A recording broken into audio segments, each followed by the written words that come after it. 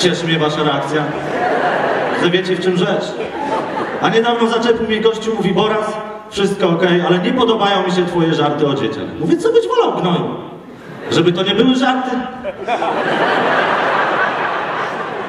Niedługo miną dwa lata, jak pierwszy raz stawałem na scenie.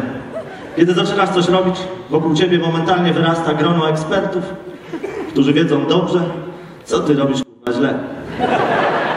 O jednym już wspomniałem, niedawno podszedł do mnie inny ekspert, mówi Boraz, wszystko ok, ale wesołkiem to ty kurwa nie jesteś. Ale nie zawsze tak było. Jeszcze pół roku temu byłem całkiem pogodnym gościem. Czułem się jak surfer na fali. Chociaż właściwie nie wiem jak się czuje surfer na fali, bo nigdy nie surfowałem. Ale nie zdziwiłbym się, gdyby jakiś australijski surfer po serii zwycięstw surferskich w lidze australijskiej, surferskiej na pytanie jak się czuje powiedział, czuję się jak Boras pół roku temu.